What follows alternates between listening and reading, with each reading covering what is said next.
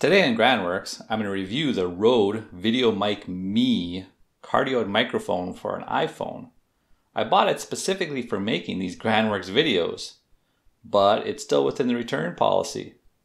So should I keep it or return it? Stay tuned.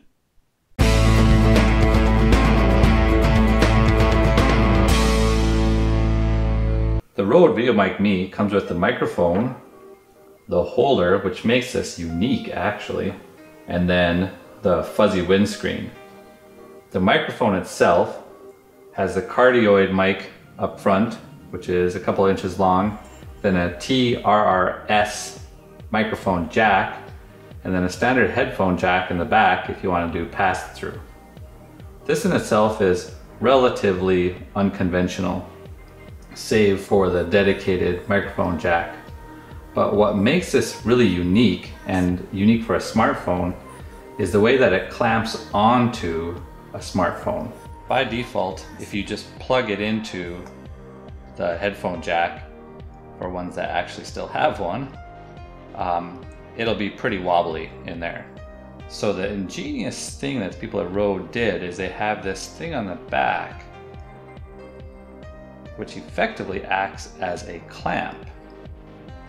And then when that's in place, yeah, that's actually pretty darn stable.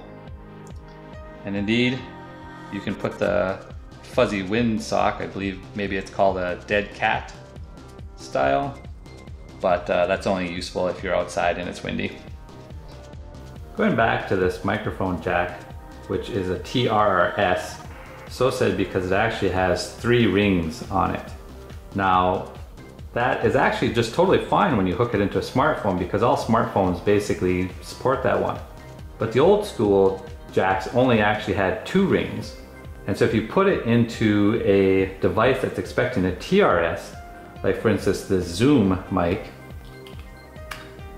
it seems like it works. It'll say the line, but notice how no matter what happens, it doesn't actually record anything. And that's the case with quite a few of the older non-smartphone accessories that you try to plug this into. What you need is a dedicated adapter like this. Rode sells one, which is a three ring one to a two ring one. So plug that in there, plug that in here. And now you see not only is it a line in, but it's also gonna actually use it or recognize it. It's a minor issue because this is clearly aimed at smartphones, but if you are intending on using this for something other than a smartphone, you will likely need this adapter, and the adapter costs about 15 bucks. Okay, I'm gonna do my noisy testing out here. This is kind of a good baseline because this is where I would mostly use the video mic. The key being that I want something that I can run and gun. I don't want to have to actually do a post processing. I don't want to have to do something after the fact. I want to, while I'm actually working on something, and a lot of what I do is work out here in the uh, workshop, I want to be able to do on the fly and then just effectively cut stuff together without having to actually do like narration after the fact. Okay, so what I have is now two cameras running. Um, the first is my iPhone 6s Plus. That's my main driver. That's the one that the video mic uh, me is going to be attached to. Right now though, I'm going to consider this a baseline. What it's running with is just its regular microphone on the regular video app as well, or the regular camera app doing video. So this is going to be the default case, if you will. The next camera that I'm on is an Sony NEX5T, which is a uh, mirrorless camera and mostly intended for photography, but it does actually do 1080p video. It has dual microphones, so stereo, but historically I've noticed it's extremely echoey. Um, I also have it there because, well, it is the most omnidirectional mic I've ever seen in that it picks up everything all around. And really what this environment is like is essentially noise constantly. what we're hearing now is there is noise behind us with the neighbors playing with their new mini bike. There are noises coming just from the, well, it's north, where uh, less than about a quarter mile away, there's a very busy road, so lots of road noise. We have planes flying overhead, we have chickens, we have various other birds, dogs bark. So if we have a cardioid mic or like a shotgun style mic, this is this is the where I really want it the most. So I can focus just on me, what I'm saying, just on what I'm doing. And so we'll see how that works. Okay, so this is uh, six feet. So I'm basically six feet from the camera. Um, that's probably gonna be roughly how far I'm gonna be most of the time. Um, rarely farther than that because that's a fairly wide shot in that case and I'm probably am going to do some kind of narration after the fact for that. But I would expect this to work well at six feet. Now let's just listen for a little bit on the default noise.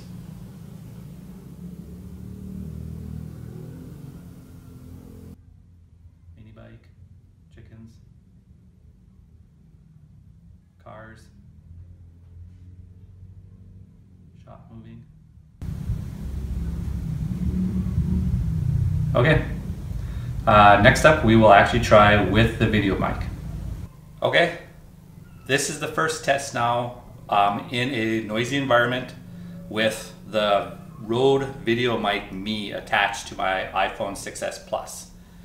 Um, otherwise, it's no different. So I'm still using the camera app with the stock video on, which means it has the automatic gain correction on it. Um, I am also not doing anything that special. I did put it in airplane mode because when I first was doing some tests with this, I noticed there was a decent amount of like crackling and popping. When I went and talked to the Rode tech support, they indicated that it might be interference from the phone and I should put it in airplane mode to reduce that. Um, I haven't noticed any popping since I've been doing that, so that uh, did appear to solve that particular problem. All right, I do want to see too, in addition to the talking, uh, what does it sound like from a, like the plosives? So, Peter Pepper picked a peck of pickled peppers, a peck of pickled peppers, Peter Pepper picked. If Peter Pepper picked a peck of pickled peppers, where's the peck of pickled peppers Peter Pepper picked? Okay, that's, that's probably the, an extreme case of that. All right, small plane is actually going overhead right now, so this is a good test to see how localized it is when there's a plane going right overhead.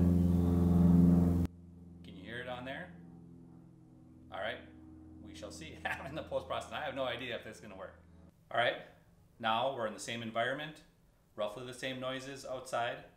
Uh, the only difference is I've switched from the default camera app to using Filmic Pro. The benefit of Filmic Pro is that it can turn off the automatic gain correction. So uh, that's what I did. I turned it to Filmic Pro. There's nothing else other than it recognizing that it's an external uh, microphone and it actually has the automatic gain control turned off. So we'll see, does this sound any louder? Does it sound softer? I mean, I, I, am really not even sure exactly what this is going to do at this point. Uh, the next test I will do though is to turn the gain up in there, but yeah, this one right now is just whatever the default gain is in Filmic Pro with automatic gain correction turned off. So Peter Piper picked a peck of pickled peppers, a peck of pickled peppers Peter Pepper picked. If Peter Pepper picked a peck of pickled peppers, where's the peck of pickled peppers Peter Pepper picked? And now I will pause just for a little moment to get a little bit of the ambient noise.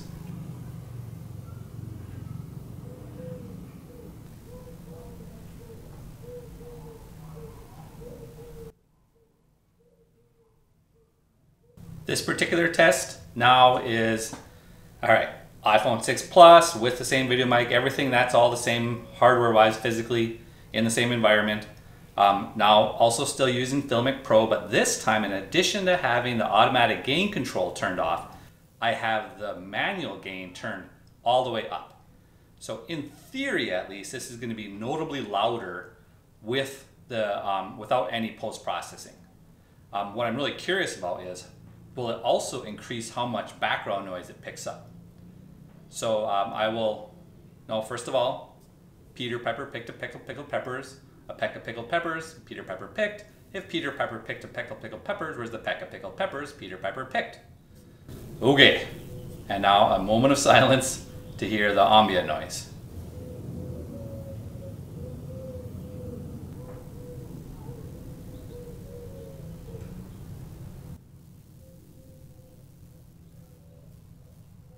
I threw the waveforms from these tests into Audacity and a few things really jump out. First, the video mic on its own in a non-boosted state is incredibly quiet. I sometimes put the background music on my videos at negative 20 dB since, well, that is so quiet. Audio at this level must be amplified in post-processing to be useful at all.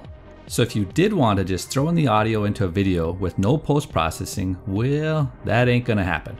It's also notable to me that the levels are essentially identical just plugging it into the default camera app and then turning off automatic gain control in Filmic Pro.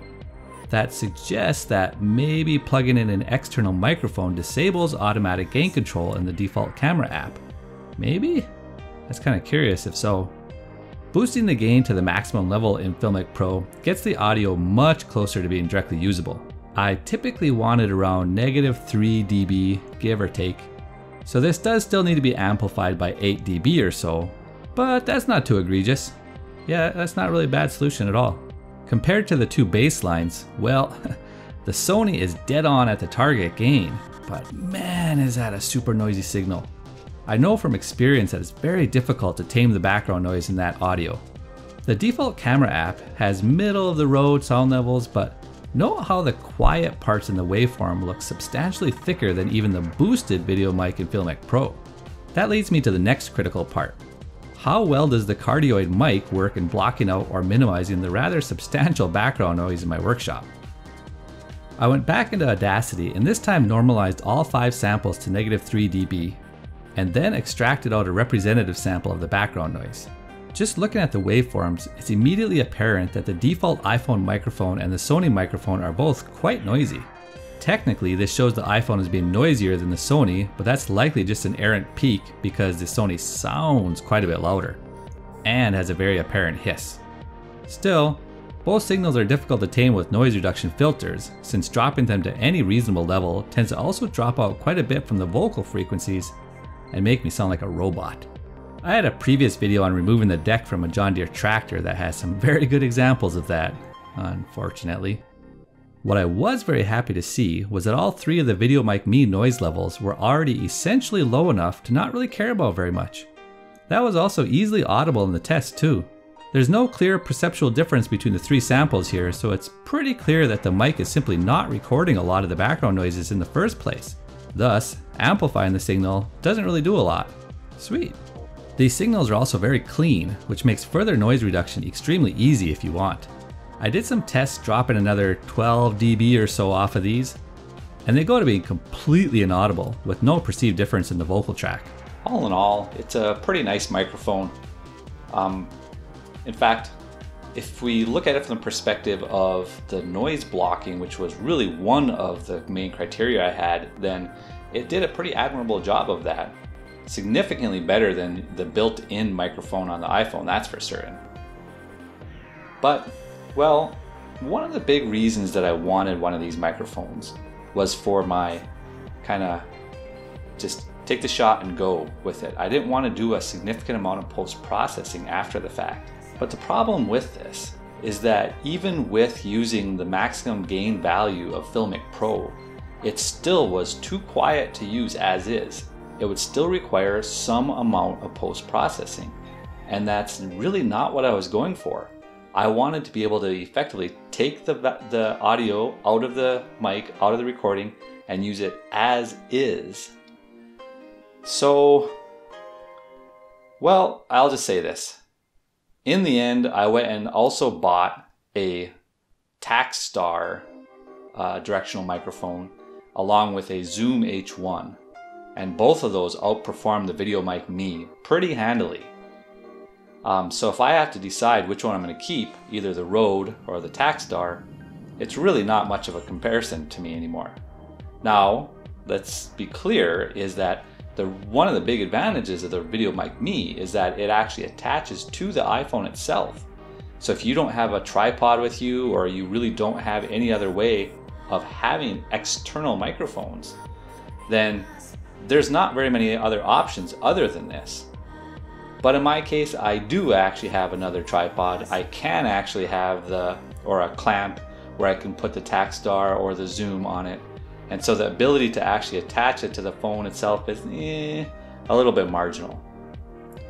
So, in the end, yeah, nice little item, but considering how quiet it still does audio, it doesn't work for me, and so yep, I'm returning it. And as always, thanks for watching.